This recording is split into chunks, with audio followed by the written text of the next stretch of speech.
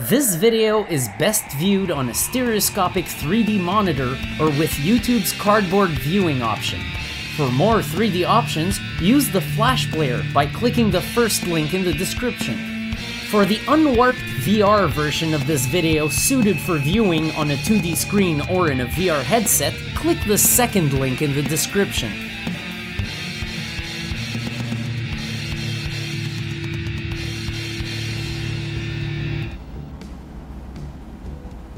Welcome to Stereo 3D Productions, everyone! And this first impressions video of A10 VR using the HTC Vive and these cool little motion controllers right here. This game uh, is standing space VR, so it's not really room space. I'll be able to stand in one spot during the, ex the experience. I hope I don't cause too much crashing. Uh, but it should be rather simple. I actually bought this title when I uh, saw it on the list because of this standing in one spot thing, uh, which uh, really serves my place well for the kind of tight space I have. Uh, but I got guns. We're gonna see how I can fare with these motion controllers in a shooter type game. So, uh, because I figured now, I've done a couple of first impressions of motion controller based games, and I didn't even get to any shooting yet. So let's take practice mode. Let's get uh, started. Of course, pull the trigger to shoot. Okay.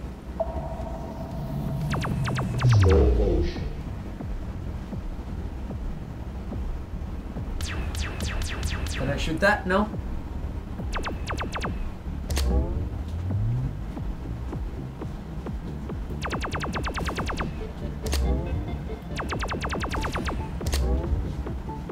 We're there. Whoa, whoa, whoa, where? We're at, where at?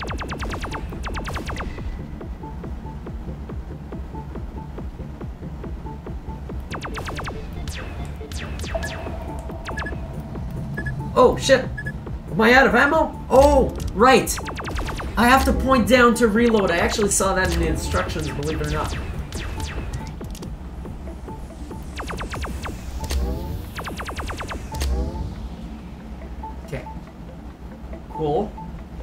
Clear. I'm keeping us safe at Stereo 3D Productions from the whatever these are. Where we're not gonna get attacked. What? Oh, that was some bad shot accuracy right there.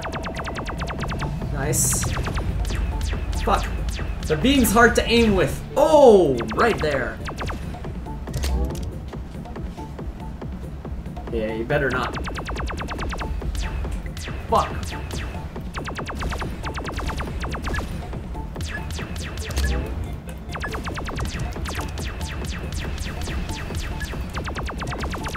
Holy shit. God damn it!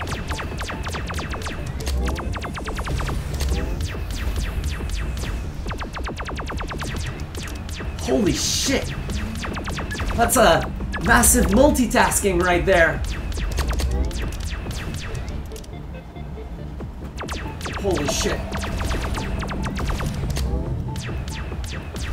Getting a little better with uh, aim, and you gotta reload, you point down.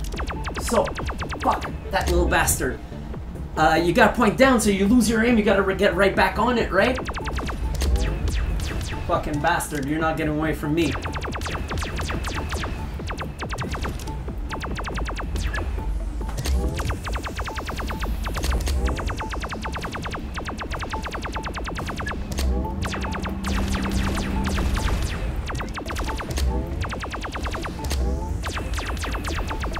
Okay, this is extremely cool, by the way. Uh, I'm not talking right now, you may notice this happens often on this channel when I find I'm playing something cool and I get really concentrated with it. Yeah, got him.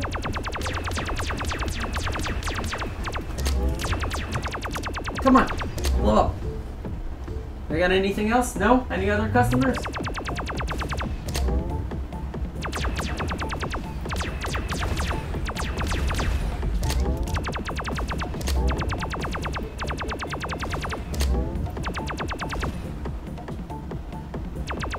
That's absolutely cool.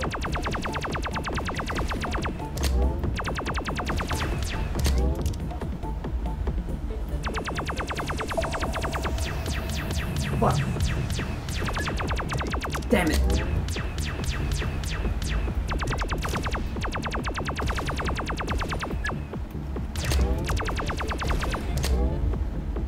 So obviously a re repeat shot is much better for aim, because you just line up with where you think the the thing is going. With a beam it's a little harder because you got to be spot on at the moment where the object is there.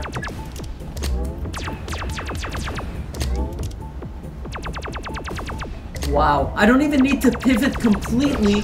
And what I like is I don't need to take my hands too far away from my body. I was worried that I have to extend my arms big time in a shooting game.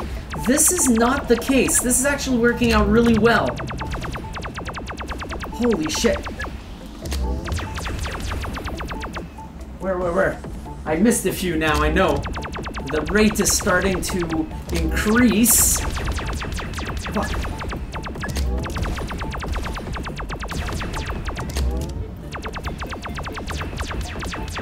bastard.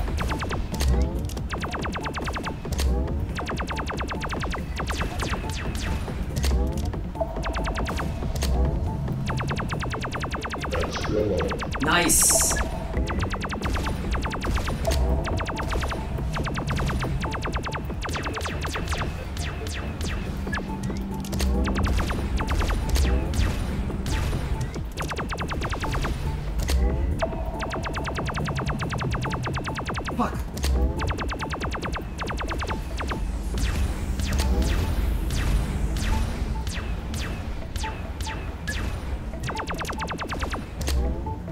Nice. I'm getting the hang of the other gun too. It's hard when it's really a precise aim. But you can actually just take your time with this one and shoot things in one shot instead. Huh, that's not bad actually. Getting the hang of it, getting the hang of it. Multitasking is extremely difficult, and maybe there should be a mode where you could uh, at least be facing one way. So that you don't lose your track as if your setup is not optimal, and you just want to keep trying the game, even though it ain't the best. Oh shit. These guys are gonna be close! Close calls!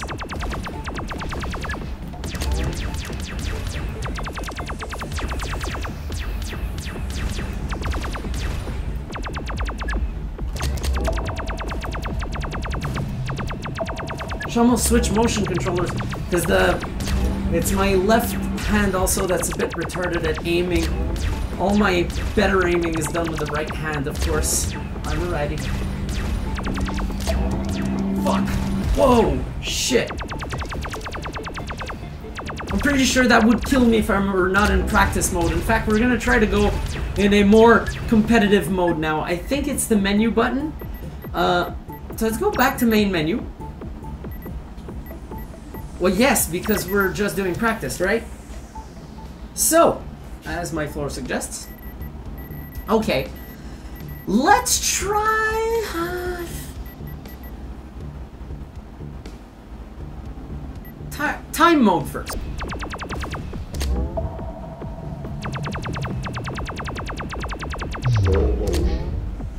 About time I hit that thing.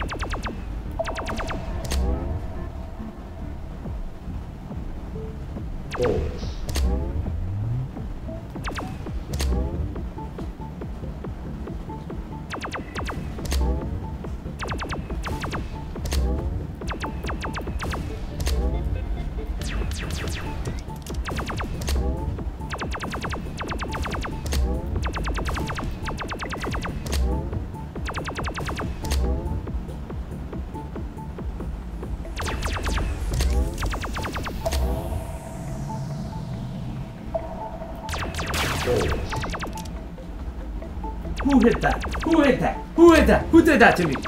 I'ma kill you. I'ma kill you, motherfucker. I'ma kill you. Oh shit.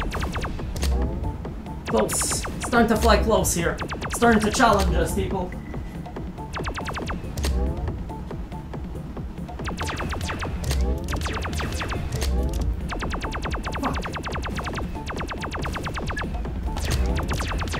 Most of the misses, by the way, feel like a mistake from my part. They don't feel like the controller's going away. I only noticed that happening two or three times in the play session. Like I said, not an optimal setup for this. Uh, but at least this is actually playing pretty well. It's not like I have the uh, ideal room space VR setup, but at least I can use this. Holy shit. Shit's getting real. Shit's getting real. Better keep my guns reloaded.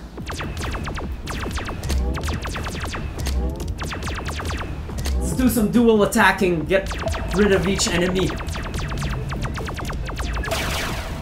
Holy shit. Who's shooting at me? I'm not too sure where those are coming from. I haven't actually seen myself get hit by some. Maybe I'll see it on the video.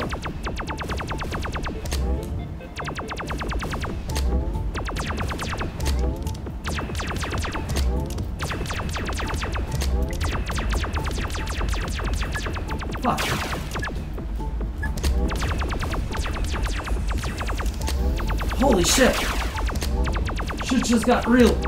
Too real. Oh.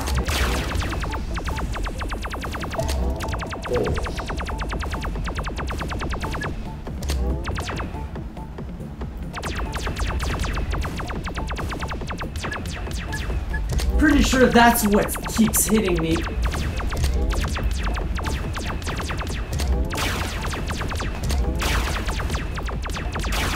Holy shit, there's too many of them! We're going down, Captain! We're going down! Oh yes, slow down. Where are you, fuckers?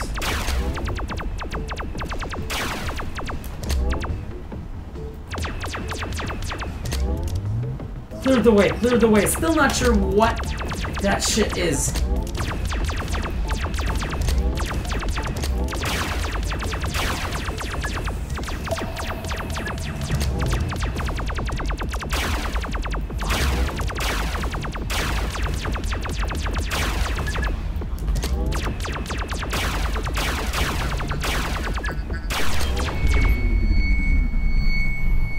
Holy shit. Alright. So I'm not too sure what was hitting me there. That's uh, my main beef. There we go. Alright, so 341 accuracy 10.27 best combo 2. Yeah, that is pretty shitty. It is my first time doing shooting with uh, these motion controllers. I have done like stuff that's near that, like playing darts in uh, Pool Nation and the stuff that involves targeting, but I've not done actual gun shooting. This is quite fun.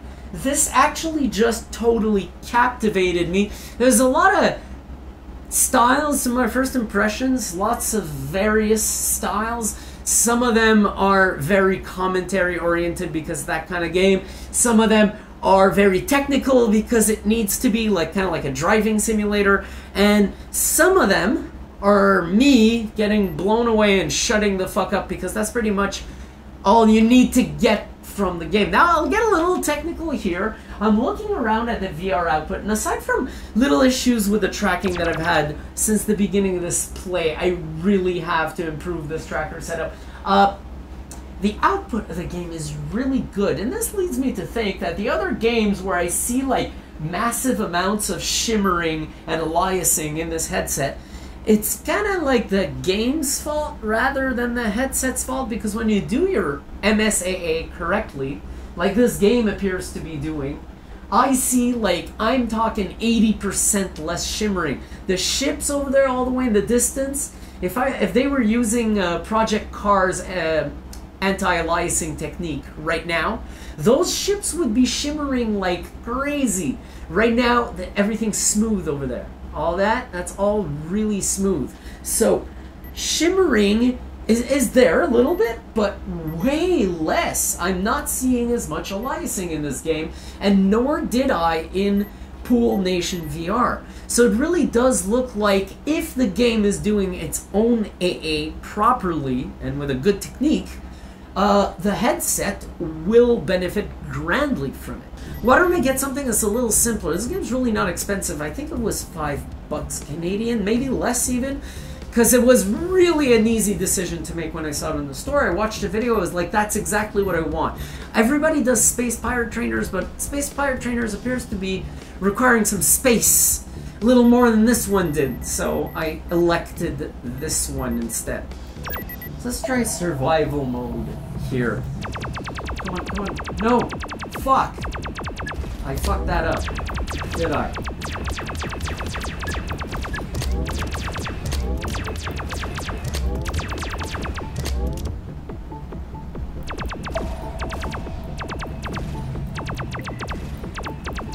Of something fucking fly by.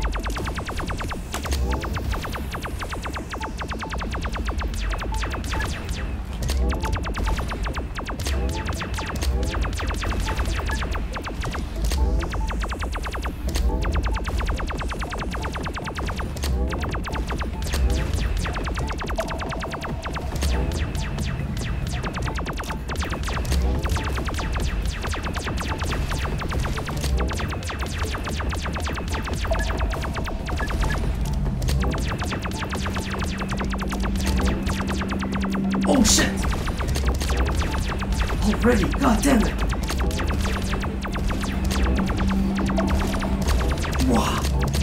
I'm getting my ass handed to me already.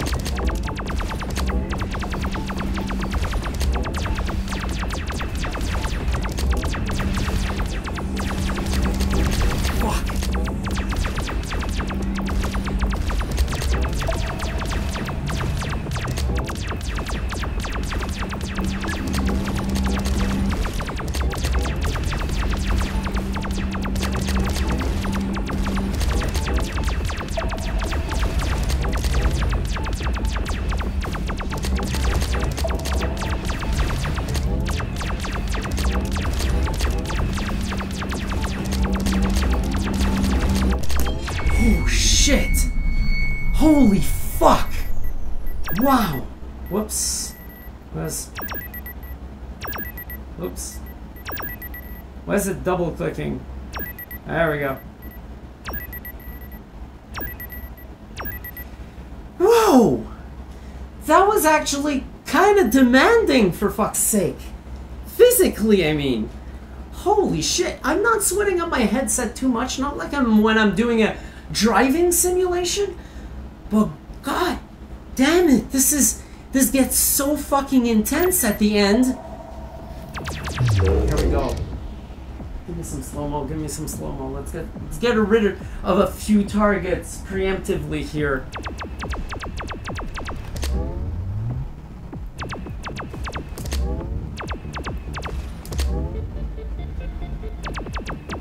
Okay, we're back to normal speed.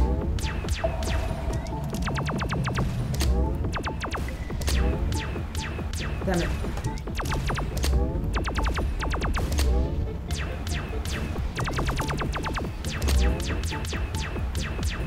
Damn it.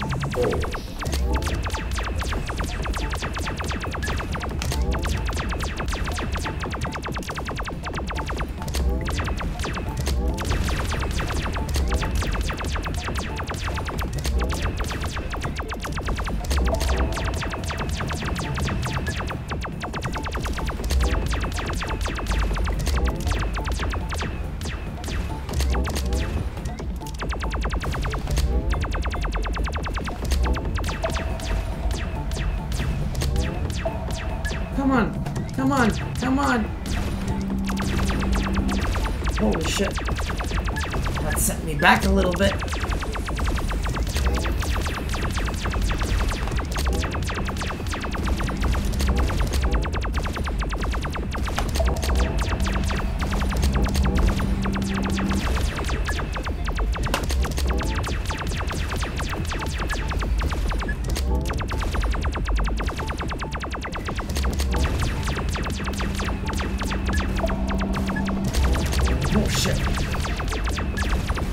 Sometimes you gotta let a couple through.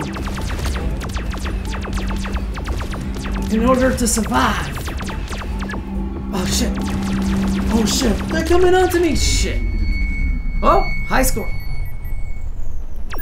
I think it was the fact that I took uh, the uh, hey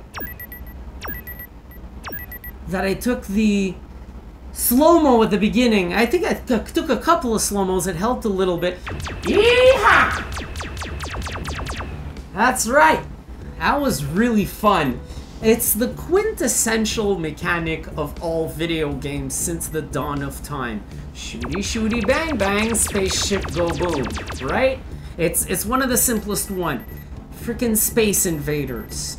In virtual reality, you can't leave it out. You can't just have a whole bunch of simulations uh, that have nothing to do with shooting. You need, you need shooting. It, it, it needs to exist. And you need it at its most simplistic level, which a game like this will provide to you. And it's a great intro to the motion controllers. Uh, it was extremely comfortable. It still is. I could probably play this onward for another hour. Uh, the stereoscopic 3D is absolutely amazing, despite the fact that there's huge scales everywhere. I'm standing on a disc right now, and I feel like I am massive altitude from that planet below me. I didn't actually quite notice until now because I was too carried away by the game, but holy fuck is this like this is some serious altitude going on right here. Like looking down there is giving me a little bit of height vertigo. Holy shit is that high. Yeah, that's that's what I would qualify this as. And and that space station looks freaking huge because I can barely tell its depth. It's just far from me and it's huge. I, I really like the way they did their environment. It's it's still a simple environment, but it helps at convincing you that you're on a pod floating in space, shooting at little spaceships. Uh, aside from that, the graphic output is actually marvelous. Like I said, the AA in this game is actually run pretty well, kind of like with Pool Nation VR, and I uh, find that that brings a huge advantage in the headset. It's starting to look like something you'd run on Samsung Gear, but with full out MSAA on it, like full anti-aliasing. So that's another added plus. And in terms of performance, this actually performed pretty well, except for a few skips here and there in my tracking, which is far from ideal right now for this type of thing. So that is it. Um, hope you enjoyed, and I shall see you next time on Stereo 3D Productions. I do not know what we'll be doing next, but I got a heck of a backlog of things to try. I kind of know what I'll be doing next, I just don't know in what order. Shit, I missed the bonus. So folks, thanks for watching Stereo 3D Productions. This was A10 VR, and it looks like I'm playing it again. And forgetting myself in a virtual world that does not exist once more. And that doesn't even resemble the last one I was in, which is with a pool simulator. And before that, I was chopping up demons with a katana. And before that, I was driving an Indy car. And before that, I was in Russia, but traveling through time, so I don't quite know where I was exactly, to tell you honestly. And there was a spider trying to kill me. There's a lot going on lately at Stereo 3D Productions. Stick around to see some more. I'll see you next time.